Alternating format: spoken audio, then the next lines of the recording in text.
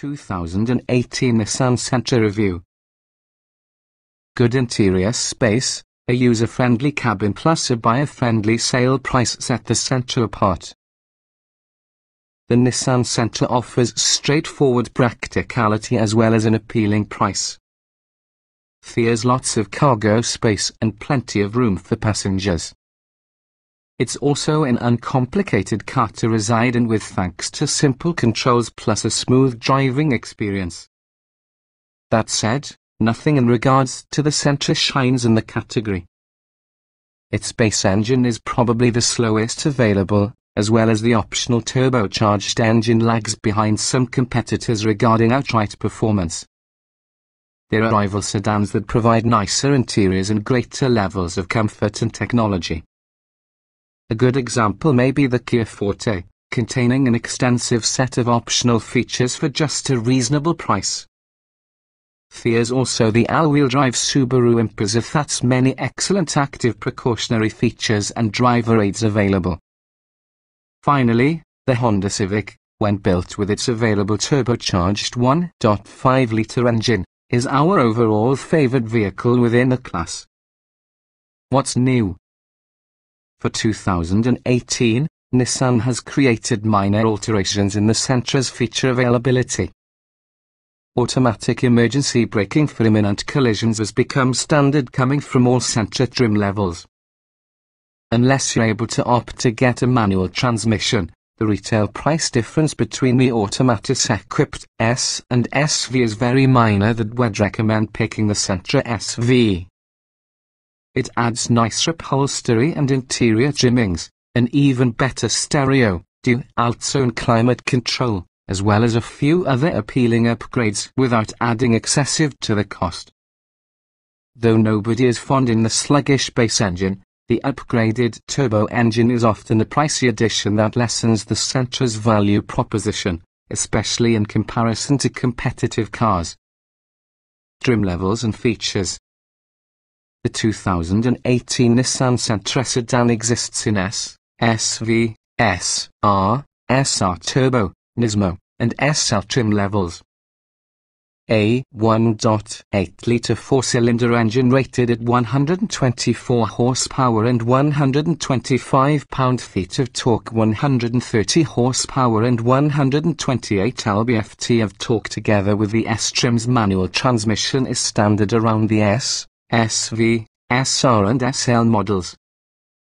A six-speed manual transmission is standard about the S, plus a continuously variable automatic transmission CVT is optional on that model and standard on all the other Sentras.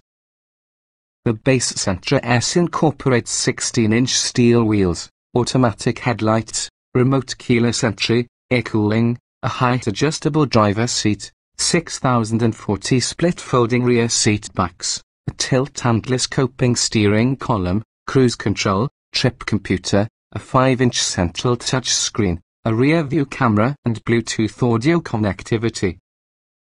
Automatic emergency braking for imminent front collisions is actually also standard on all CVT-equipped Sentra trim levels, except the Nismo. Stepping up on the SV gets you 16-inch alloy wheels, keyless entry and ignition, upgraded cloth upholstery, a leather-wrapped tire, dual-zone automatic climate control, a six-speaker audio system and satellite radio. The SR gets 17-inch alloy wheels, rear disc brakes, an activity body kit including a rear spoiler, LED headlights low beams, fog lights, adaptive cruise control, heated mirrors, unique cloth upholstery and heated front seats for the 2SV and SR, heated front seats and side mirrors, a sunroof along with a 5.8-inch touchscreen infotainment system with navigation are optional. The SR Turbo takes the SR trim and adds a turbocharged 1.6-litre four-cylinder 188 horsepower and 177 lb-ft mated to your choice of the six-speed manual or perhaps a specially calibrated CVT which has a manual shift mode. Nissan also adds a sports activity tune suspension, recalibrated steering, upgraded front brakes as well as a sunroof. Optional upgrades for your SR and SR Turbo include leather upholstery, an electrical driver seat, an auto-dimming mirror, an energy sunroof, the greater touchscreen with navigation, blind spot monitoring with rear cross traffic alert, plus an 8-speaker Bose head unit with Nissan Connect app connectivity. The Sentra Nismo comes using the SR Turbo's features and adds a great deal of Nismo branded trim pieces for instance a spoiler, 18-inch wheels, exhaust, grille and badges, along using a unique interior appearance package. It also comes standard with Nissan Connect and also the larger touchscreen, in addition to the 8-speaker Bose stereo audio. The top-of-the-line SL loses the S-SAS sport-themed flourishes, keeps the 1.8-litre engine, and adds unique 17-inch alloy wheels along with the rear disc brakes, leather upholstery, a six-way power driver seat with power lumbar adjustment, an auto-dimming rear view mirror, a moonroof, a greater 5.8-inch touchscreen with navigation and voice controls, Nissan Connect, as well as the premium 8-speaker Bose head unit. A blind spot monitoring system with rear cross traffic alert is usually standard. Trim tested, each vehicle typically is available in multiple versions which can be fundamentally similar. The S with this review derived from our full test in the 2016 Nissan Sentra SL 1.8 litres inline 4, CVT automatic, FWD. Note, since this test was conducted, the existing Nissan Sentra has brought some revisions, including a more robust, optional turbocharged engine and a few trim level and package feature adjustments. Our findings remain broadly applicable to the year's Nissan Sentra. Performance is not a Sentra strong suit, not even close to it. Acceleration is probably the worst inside class, and braking and handling are just acceptable. But it is free from overtly behaviors, so while unremarkable to operate a vehicle, it may not be irritating during a top transport either. Acceleration The base 1.8-litre engine offers poor acceleration whether coming from a standstill or when passing. It has 060 miles per hour use of 10 seconds that creates the central one with the slowest cars inside class. The significantly stronger turbocharged 1.6-litre should deliver a better experience. Braking. The Sentra's functionality inspires confidence, even though brakes demand a light foot in traffic, where inputs might be sensitive. In our simulated panic stop from 60 miles per hour, the Sentra posted average performance to the class. Steering.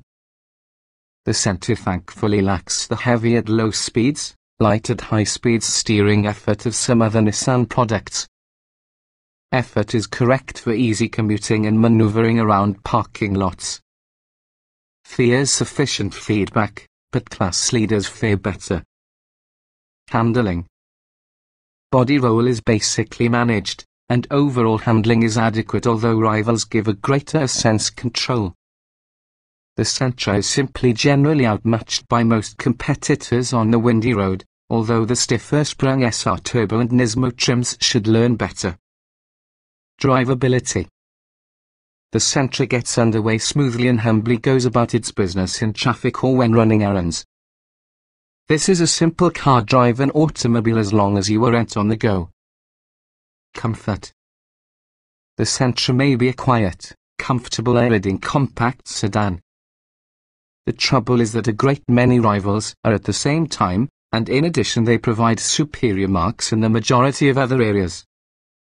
The oddly high-mounted seats were an annoyance for many taller, seat comfort. The seats are mounted high.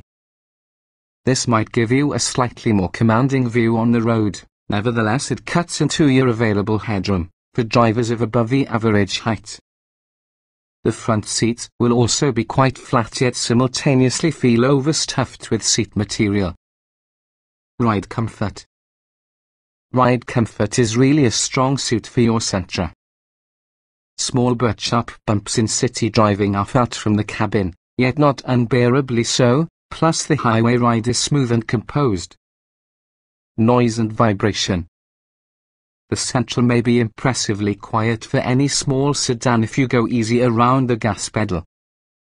If you don't, the underpowered engine and CVT conspire to generate loud droning noises a tad reminiscent of a tremendous blender. Interior The Sentra is simple and user-friendly, with controls which do not require navigating any high-touch interface. Visibility can also be quite good, and also the trunk is large. It's one in the more sensible compact cars. Is useful. The infotainment screen is small but refreshingly user-friendly with straightforward, easy-to-watch virtual buttons. Everything important is reached in the driver's seat like the logical, albeit small, tire controls. Getting in jetting out. Getting in and out of the two front and back seat is really a breeze the oddly high seats help within this way no less than. Large door openings and high windows make for convenient entry into this tall-roofed sedan. Roominess The Sentra incorporates a large back seat with a good amount of space for adults. The seats, particularly the front passenger one, are mounted noticeably high people of above the average height reported feeling misplaced. Shorter drivers may appreciate the vista. Visibility Large windows and mirrors provide good all-around visibility, and also the standard rear view camera is really a nice addition. Quality The Sentra lacks the polish of your Honda Civic or VW Golf but is nevertheless good for that segment. Frequently touched surfaces such as the center console and elbow rests are well padded generating from quality materials. The plastic switchgear doesn't feel cheap or fragile.